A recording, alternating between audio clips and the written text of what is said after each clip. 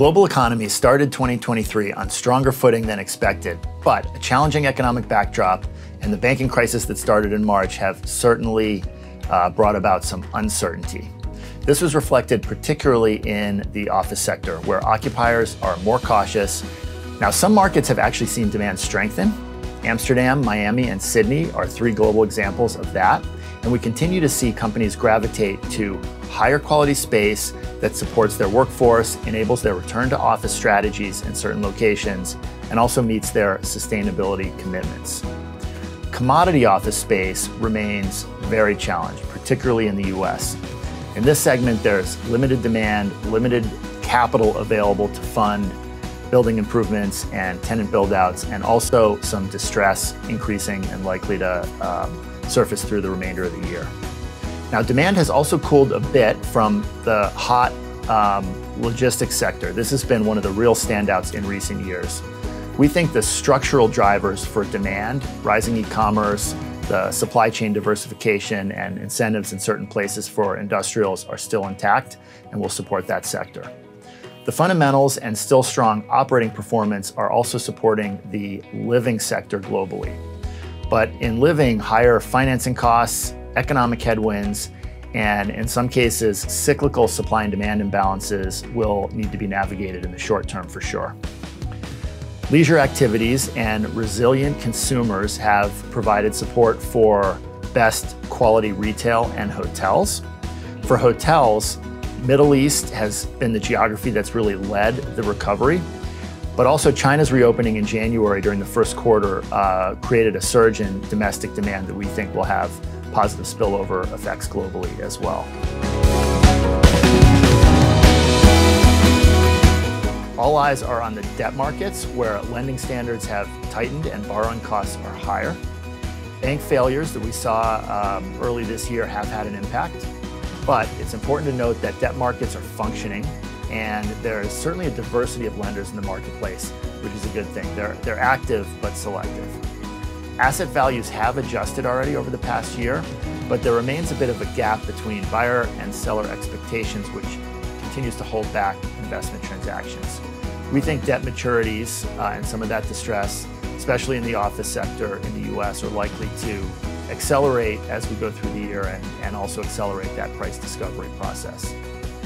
We have seen a recent rise, uh, interestingly, in our JLL proprietary bidding activity data.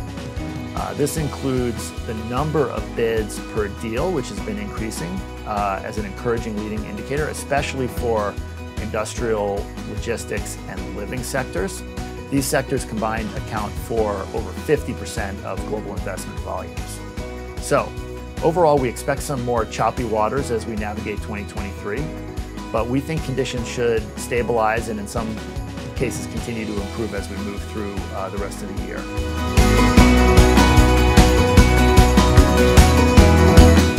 I start with private wealth. I know it's not necessarily a capital source and rather a type, but private wealth is definitely one to watch as we move through 2023. As these investors look to take advantage of their slightly smaller debt profiles combined with those longer investment horizons, which offers a fantastic buying opportunity given the pricing dislocation and more limited competition in the market. A lot of this money is Hong Kong and Chinese capital that's domiciled in Singapore, but equally we're seeing groups from the likes of Indonesia, the Philippines and India, as well as South America showing interest in global real estate.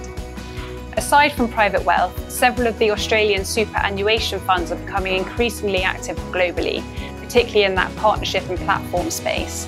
Israel is a really interesting one. The Israeli shekel is depreciating due to the political instability domestically, and local banks have actually advised Israelis to invest into international currencies.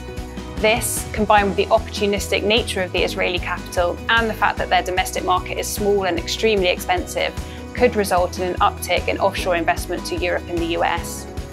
Singaporean capital is pretty consistently the second most active cross-border investor year on year, with the United States being the first. So as we move into the second half of the year, we may see a re-emergence of both direct and indirect deals from the Singaporeans.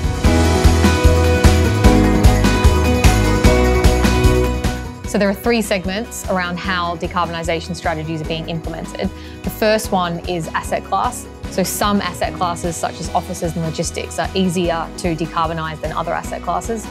The second one is investor profile. So you've got the core institutional investors, such as insurance companies, you know, typically leading the way compared to sort of private equity groups. And then the final one is regional differences. So Europe is leading the way, and this is for a number of reasons. Regulatory pressures being a main one. You've got investor and occupier pressures, and then finally political and cultural pressures. And it's really when transactions and value starts getting impacted, that's when change is accelerated. So, so what does this mean for the industry? I mean, you cannot have net zero carbon targets unless there's a huge amount of change transformation that needs to happen. And so this can occur in two ways when we're looking at investor groups. The first one being the investment process. So how is sustainability being integrated into new acquisition processes? And then the trickier side is asset management. So how do you manage your existing portfolio uh, as well as look where it stands today, but where it needs to get to? And then finally, when you actually just step into an asset that needs to be decarbonised, what do you look at? So the main strategy that investors look at is the capex. So what is it going to cost to decarbonise this asset? And you can look at a light retrofit strategy versus a deep retrofit strategy, which will depend on the cost. But what's just as important is how the building is then managed post the refurbishment project. And a really good, a big part of this is tenant engagement, but a really good tool to use is green leases.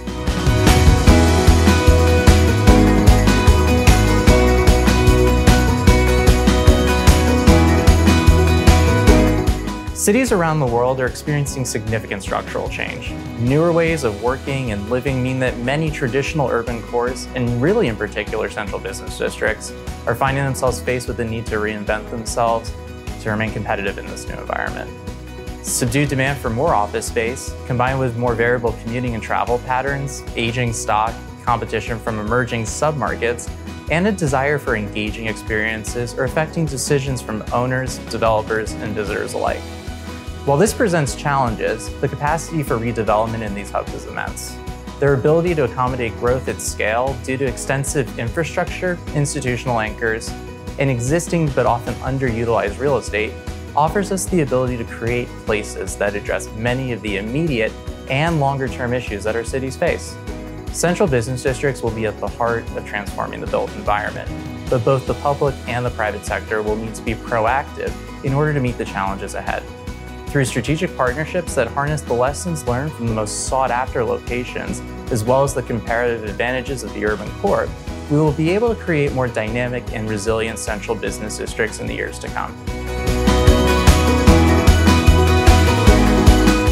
Striving through uncertainty and staying ahead of the curve. This is what every organization craves and an imperative to continuously adapt corporate real estate to new demands. In the 8th edition of the Top 10 Global Real Estate Trends, we explore how organizations can reinvent their built environment, helping them anticipate risk and build resilience through their real estate. So let's explore some of these trends as CRE leaders revisit their portfolio strategies. First, optimizing with impact. There is a need to identify portfolio investment with a long-term, people-first mindset by reallocating capital and prioritizing investment to meet talent and stakeholders' expectations. Second, dynamic operations. This is all about transforming operation and driving resilience in an agile world by leveraging advanced technologies to manage operation dynamically. But priorities should also be around the workforce. Labor markets were tight before COVID and have tightened up further in the rebound. So talent attraction and retention remains a key priority we encourage our client to think about the new employee value proposition they offer.